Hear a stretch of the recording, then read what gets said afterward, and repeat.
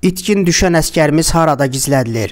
Azərbaycan ordusunun hərbi qulluqçusu əskər Ceyhun Tofiqoğlu Hüseynov iyunun 9-da Naxçıvan Muxtar Respublikasının Sədərək rayonunun Günlük yaşayış məntəqəsi istiqamətində naməlum şəraitində itkin düşüb. Bundan sonra ermənilər əskərimizin onlar tərəfindən saxlanılmasına dair xəbər yayıblar.